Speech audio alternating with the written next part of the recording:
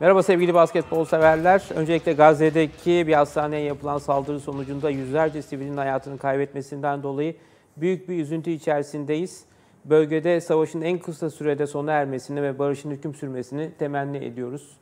Ee, umarım barış bir an önce e, bölgeye ve tüm dünyaya gelir. Çok önemli bir konum var. Basketbol konuşalım da e, çok önemli bir kariyere e, ayna tutacağız. Mümkün olduğu kadar çok önemli bir kariyer üzerinden gideceğiz bugün. Caner Erdeniz bizimle birlikte. Caner çok teşekkür ederim öncelikle buraya kadar geldiğin için. Ve e, gerçekten senin gibi kariyerli bir oyuncunun e, kariyer öyküsünü izleyicilere, basketbol severlere aktarmak benim adıma çok büyük bir onur. Bunu da bana sağladığın için çok teşekkür ederim. Ben teşekkür ederim. Davet ettiğin için öncelikle. Ee, bakalım Basketbol... neler konuşacağız. basketbola basketbol kariyerine e, nokta koydun. Hı hı. E, hayırlı olsun öncelikle Teşekkür kararın. ediyorum. E, nereden başlayacağım ben de arada bir zorlanarak yapacağım evet, programlardan aynen. bir tanesi bu şüphesiz ve e, Caner şunu merak ediyorum ben ilk kez nasıl tanıştın basketbolla? Ee, ilk kez aslında babam e, ben spor geleneği olan bir aileden e, gelmeyeyim. Babam da eski basketbolcu Mehmet Erdeniz. E, işte çoğu e, benim hatta oynadığım birkaç kulüpte de denk geldik. Aynı kulüplerde oynama şeyimiz oldu yani. Benzer kulüplerde oynama şeyimiz oldu. Baba Ondan oynadınız sonra, mı? Baba oynamadık ama ya onun oynadığı kulüplerde ben ileriki yıllarda oynadım. İşte Karşıyaka altyapı, babam Karşıyaka'da oynamıştı. Ee, ilerleyen süreçte Beşiktaş e, ta oynamış. 41, 41 yıl sonra ben Beşiktaş'ta oynadım falan. Öyle özel anlarımız oldu aslında babamla paylaştığım. Ee, babadan öyle bir şey geldiği için, altyapı geldiği için annem de spor kökenli, o da basketbol kökenli. E, beden eğitimi öğretmeni. Ve hani evin içinde sürekli basketbol konuşulduğu için, e, ben sahada büyüdüğüm için, babamın maçlarını izlerken vesaire e, aslında fa- farklı bir şey hayal edemedim ben küçükken. Benim de hayalim babamın izinden gidiyor olmak oldu. Basketbolla aslında e, ailem sayesinde tanıştım ve e, hayalim oldu. Ee, böyle basketbolla tanışma hikayem. Yani senin mesleğin olacağını o zamanlardan biliyordun herhalde. O, herhalde ben de bu basketbolun içinde olurum. Ve yani benim mesleğim evet, olur işte diye söyledim ya herkes zaten bundan önce işte e, aktif oynuyorken, röportajlar yapılıyorken hep o soruluyordu. İşte ne olmayı hayal ederdiniz falan. Ben de e, şunu söylüyordum. İşte o evin içinde büyüyorken sürekli basketbolla haşır neşir e, bir ailenin içinde büyüyorken e, farklı bir şey hayal edemedim açıkçası. O yüzden de e, iyi ki de edememişim. Basketbolun bana kattığı çok şey var. Yani hayat anlamında da öyle. Basketbol aslında hani böyle spor olarak gözüküyor ama hayatın işte 36-37 yaşlarına geldiğinde birazcık daha anlıyorsun. E, geriye dönüp baktığında sana neler kattığını, e, kişisel gelişim olarak e, işte takım ol, olgusu, her sene e, farklı insanlarla iç içe olman, bir kimyayı yakalamaya çalışman e, insana farklı özellikler de katıyor ileriki hayatı için. E, bana da çok şey kattığını inanıyorum basketbolun. Peki profesyonel olarak ilk kulübün? Karşıyaka. Karşıyaka, Karşıyaka altyapıda yetiştim. Oldu. Evet aynen. E, Karşıyaka altyapıda yetiştim. E, sonra 20, 10, evet altyapıdan çıktıktan sonra e, bir iki sene e, ikinci ligde gelişim kolejinde oynadım kendimi geliştirmek adına. Ondan sonra Ankara'ya transfer oldum. E, TED Koleji'ne. Hasan Özmen işte o zamanki antrenörüm. E, e, çok severim kendisini de. E, ben o, çok severim. O beni Ankara'ya transfer etti ve İzmir'den ilk defa e, Ankara'ya transfer oldum. İzmir dışında ailemin yanından ilk defa Ankara'ya transfer olarak ayrıldım. Kaç yaşlarındaydın o zaman? E, 20, 19-20 ilk dışarı çıkış hikayem böyle.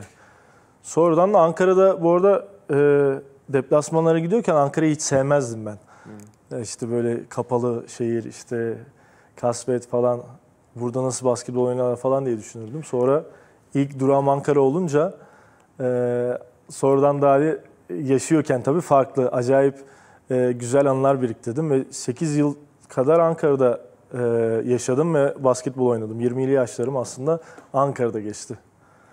Sonrasında Sonrasında İstanbul Beşiktaş'a e, transfer oldum. E, işte İstanbul hikayem başladı. Sonra bir e, arada bir Eskişehir e, basket e, dönemim var. O da e, benim için çok özel yıllardan biriydi. E, acayip keyif aldığım, kaptanlığını yaptığım bir e, kulüptü ve e, orada da Eskişehir çok Basket. Eskişehir Basket aynen. Caner lafını bölüyorum. Belki buraya bir parantez açalım. Aslında ben peyderpey gitmek istiyordum ama hep şunu merak ediyorum. O Eskişehir basket deyince belki Türkiye'nin en köklü, en müthiş başarıya ulaşmış bir takımdan bahsetmiyoruz ama kısa süreli de aslında basketbol gündeminde, basketbol dünyasında olmuş bir takımdan bahsediyoruz. Ama yine de şu dikkatimi çekiyor ki e, Koç Erdem Bilmen'le bir program yaptık çok uzun bir süre. Derya Yanlıer'i Evet. biliyorum. E, onun da çok sevdiği, çok önem verdiği bir dönem.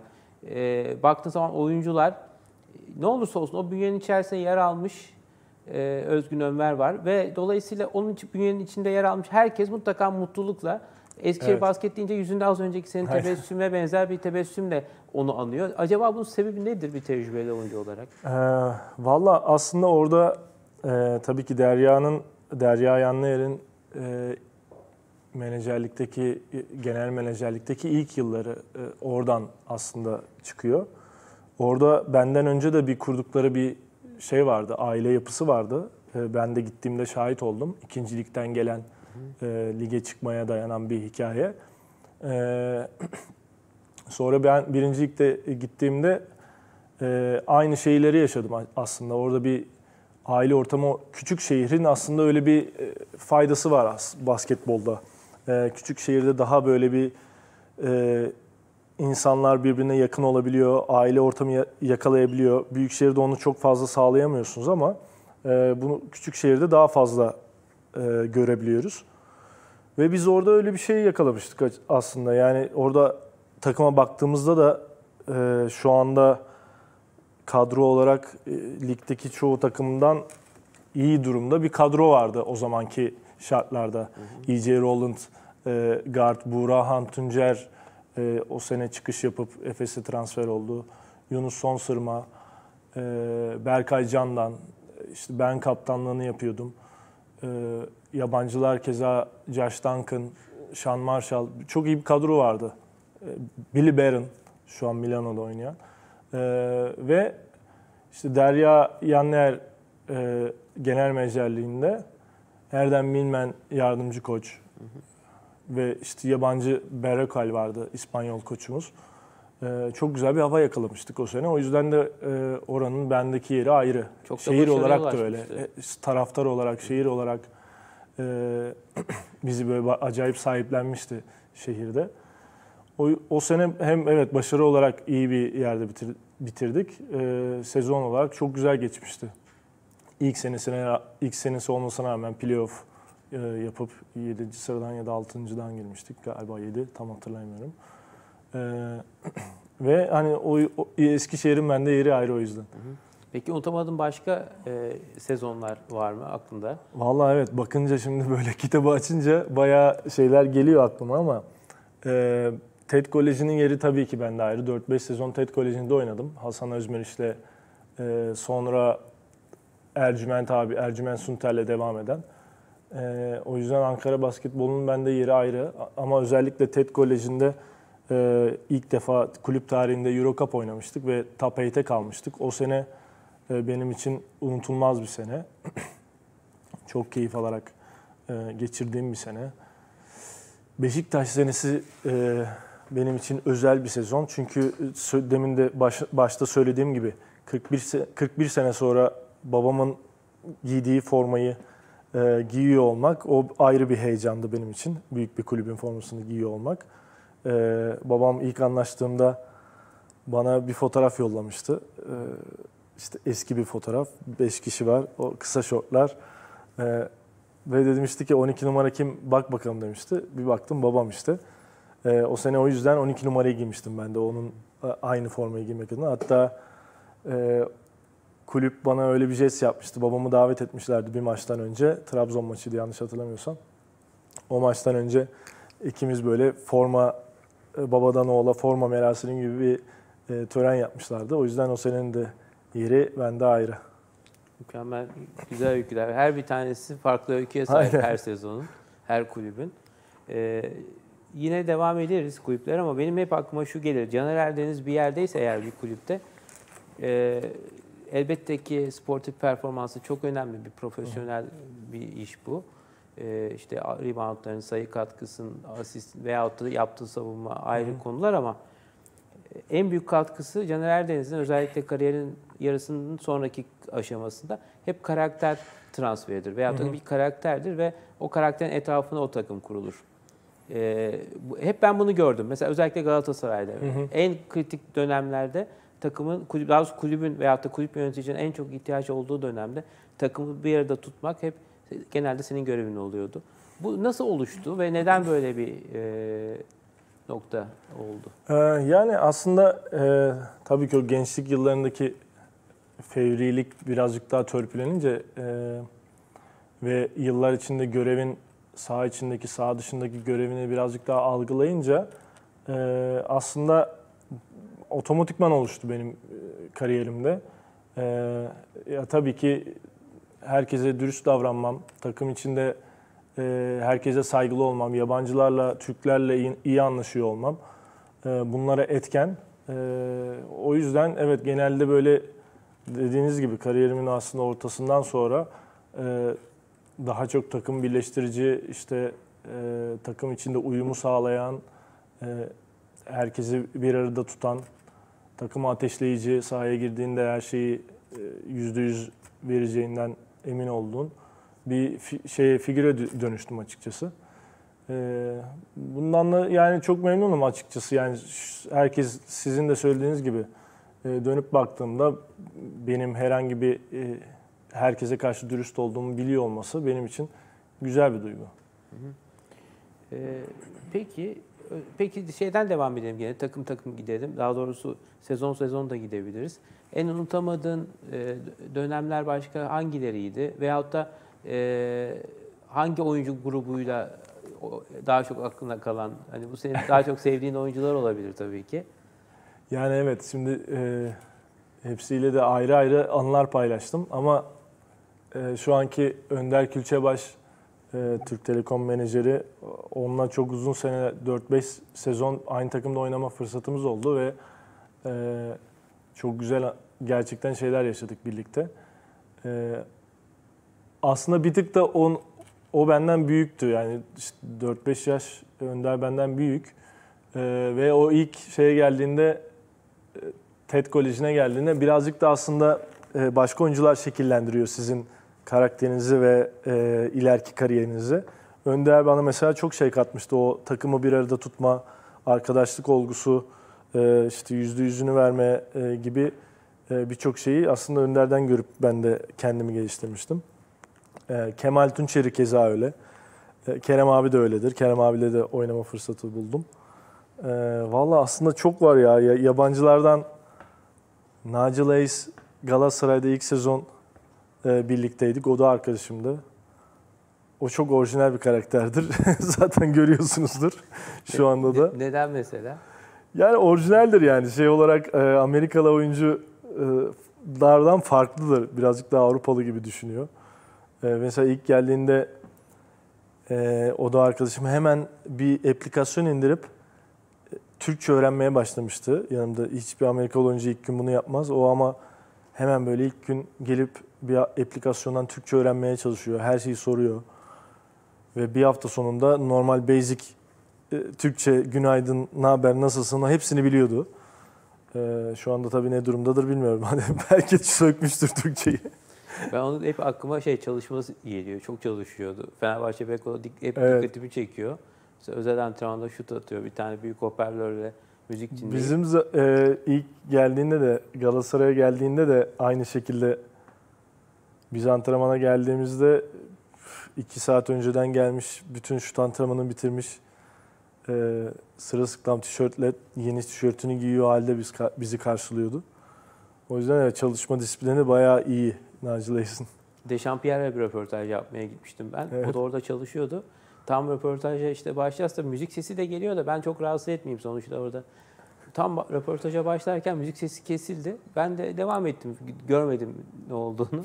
Sonra bitti röportaj. Döndüm baktım. Elinde topla bekliyor. Yani topu bile yere vurmamış röportajın bitmesini. dikkat etmiş ona. Evet. İlginç gelmişti bana. Tabii e, pek çok yabancıyla da bir arada oynadınız. Peki Billy Barron mıdır böyle ya da ne bileyim başka hangi oyuncular Nigel Hayes dışında hakkında birlikte oynadın? Valla e, Ve Ben onları kabul hala onların da görüştüğüm- kabullenmesini sağlamak nasıl bir, mümkün oluyordu?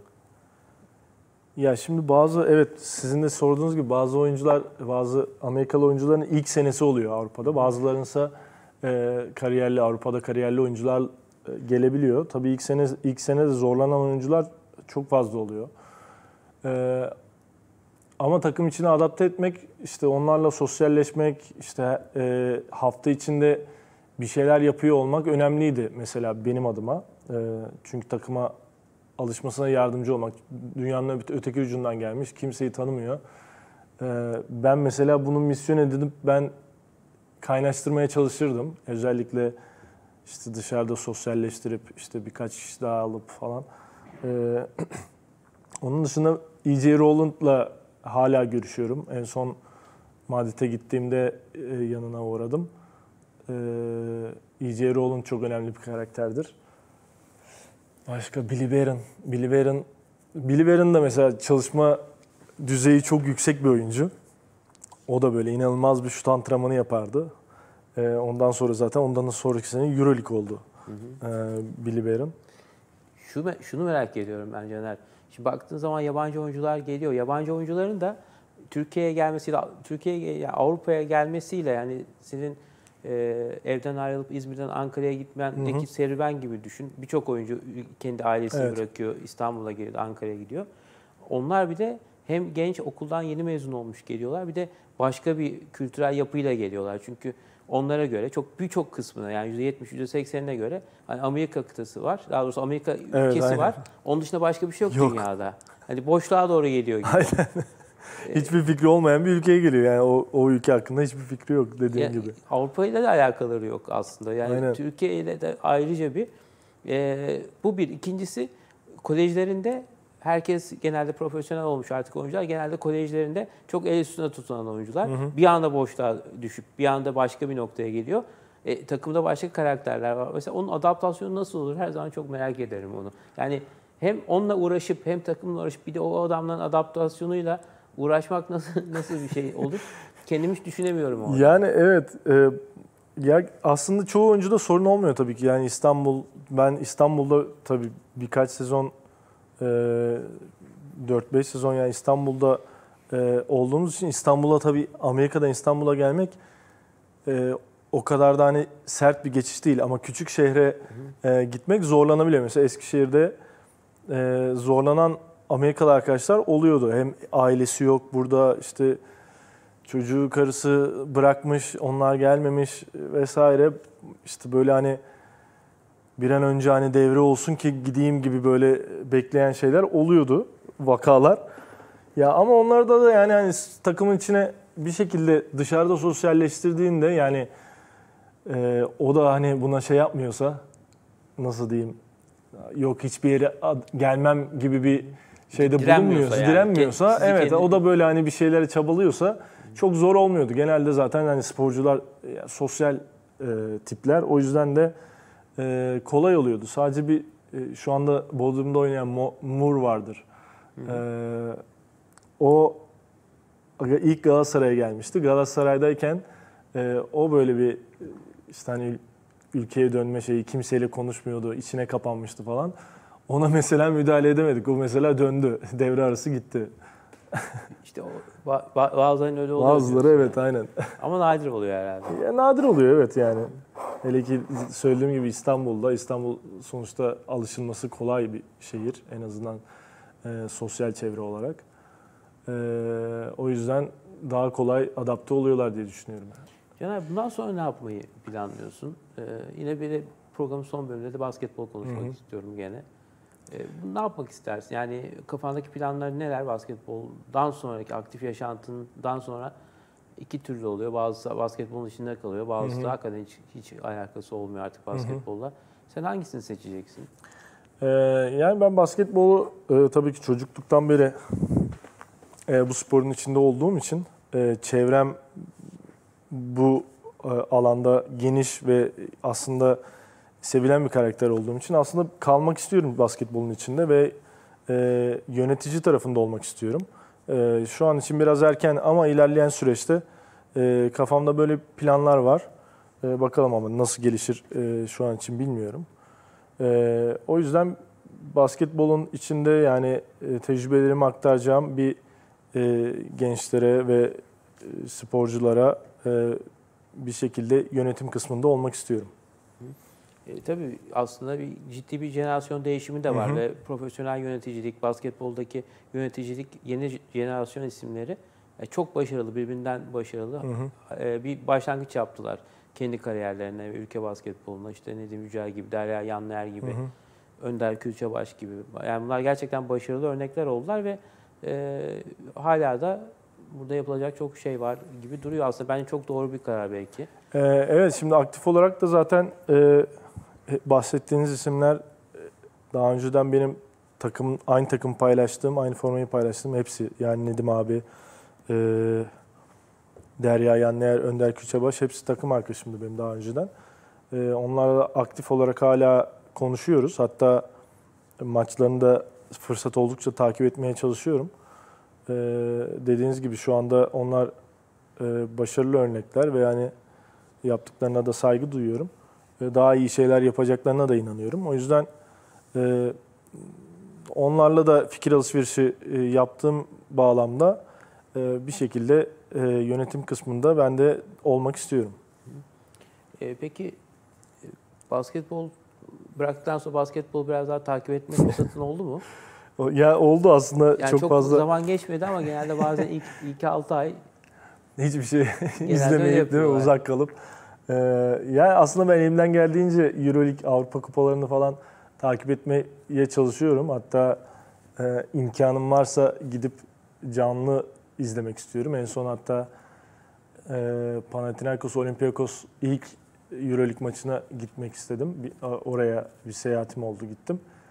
E, çok fazla uzak kalmadım ama dediğiniz gibi böyle bir insan böyle bir şey istiyor hani bir izlemeyeyim, görmeyeyim bir süre falan. Çok kısa bir süre öyle bir dönemim olmuştu. Zaten hani e, bir tane kızım da olduğu için e, daha çok hani onunla da vakit geçirmek e, hoşuma gidiyor.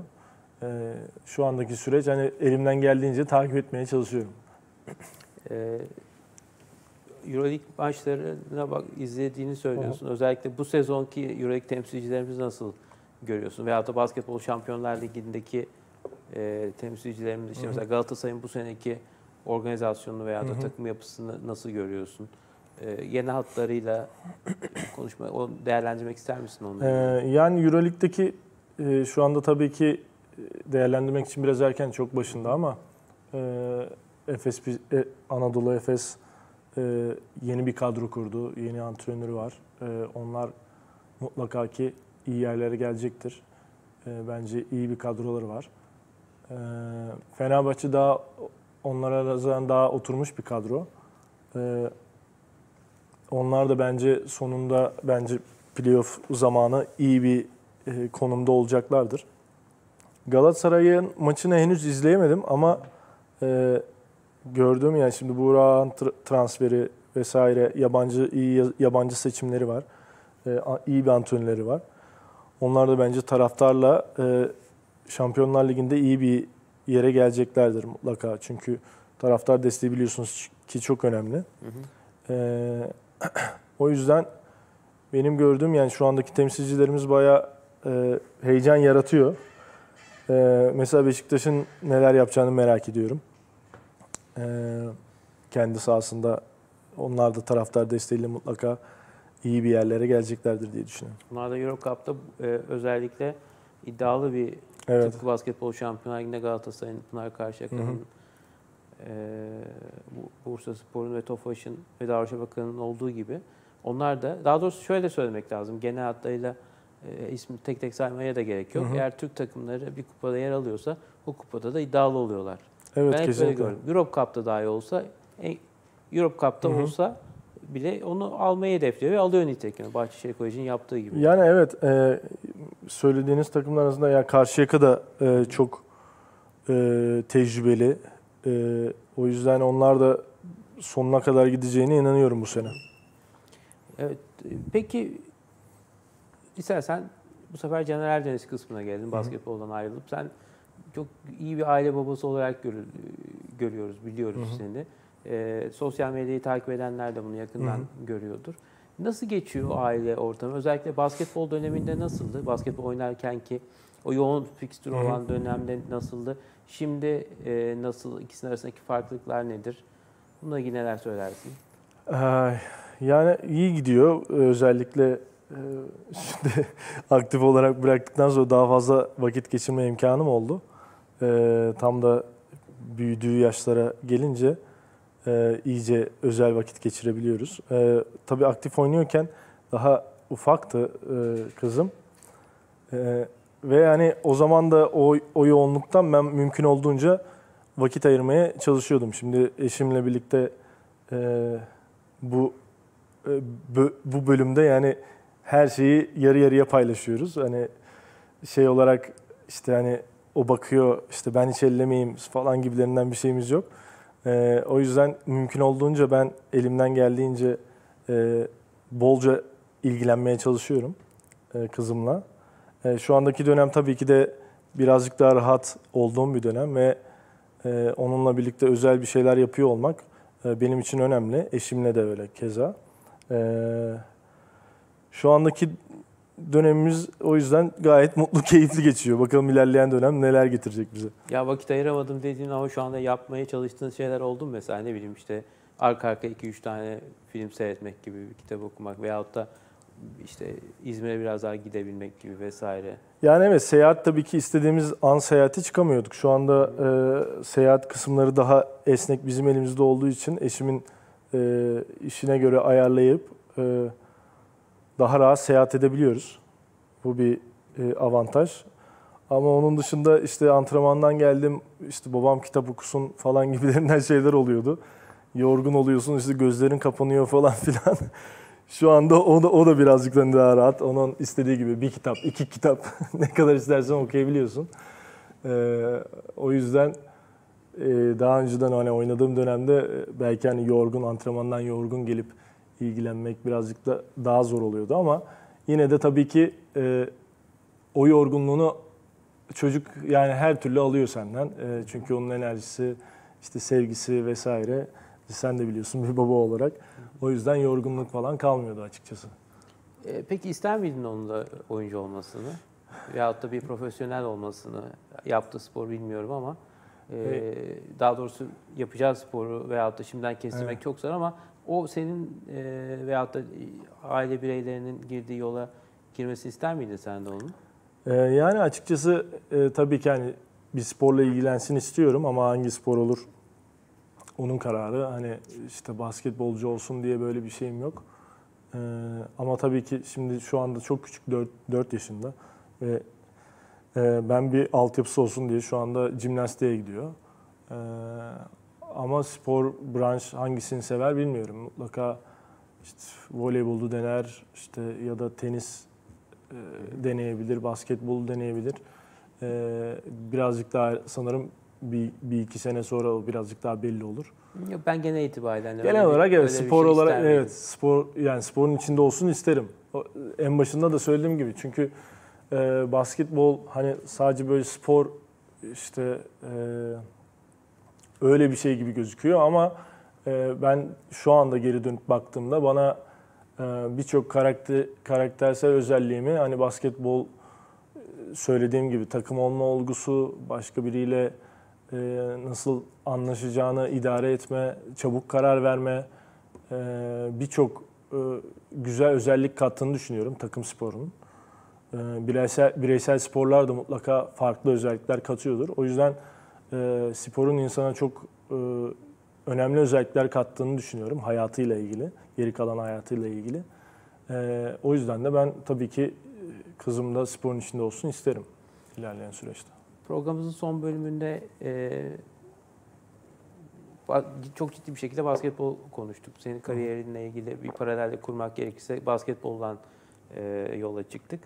Programın son bölümünden basketbol topu sana şu an ne ifade ediyor ve e, hayatına değişiklik kattıkları e, birkaç cümleyle özetlemen gerekirse neler söylersin? Ee, Valla basketbol topu e, geçenlerde düşünmüştüm onu. Basketbol topu e, baktığımda e, şu anda sahip olduğum her şeyi e, bana e, sağlayan e, bir figür gibi benim için. E, o yüzden hani bende zaten her zaman e, içinde kalmak isteme sebebim o. Benim için e, küçüklüğümden beri onunla büyümüş e, ve hani ailem de onunla birlikte büyüdüğü için e, mutlaka yani zaten her zaman içinde bulunmak istedim istememin sebebi basketbol basketbol topunun bana hissettirdikleri ve basketbol e, sporunun bana hissettirdikleri. E, o yüzden basketbolcu olduğum için çok mutluyum. E, böyle bir e, yol seçtiğim için. Bunları söyleyebilirim. Caner biz de biz de basketbola mutlu, e, millet borçluyuz seni tanıdığımız için. Yolumuz onun üzerine birleştiği için. Beni e, zaten çok genç yaşlardan beri biz tanışıyoruz yani. Evet. Benim gençlik yıllarımdan beri. benim o bitmek tükenmek bilmeyen saatçi röportajları. Aynen abi. Hepinize maç öncesi konsantre olma Aynen abi. Durumundayken gelip de abi 5 dakika röportaj yapma. Çeşit çeşit yani her kulüpte ne zaman olursanız olun Evet. mutlaka elimde mikrofonla bir karşınıza çıkardım. Özellikle o dönemki Kesinlikle. Lig TV'nin uzun basketbol e, maçlarının öncesindeki uzun yayınları. Aynen. Şimdi de gerçi şeyde. E, çok teşekkür ederiz. Yani seni tanımak çok Ben büyük bir keyifti. Umarım bundan sonraki basketbol yaşantında da, basketbol kariyerinde de her şeyin yolunda gitmesini diliyoruz. En güzellerini temenni ediyoruz sana Çok teşekkür ailene. ediyorum. Ben de beni davet ettiğiniz için e, sizinle sohbet ediyor olmak benim için çok keyifliydi. Teşekkürler. Ee, Sevgili basketbol severler, basketbol konuşalımdan bu kadar. Caner Deniz konuğumuzdu. Şimdilik bu kadar. Hoşçakalın.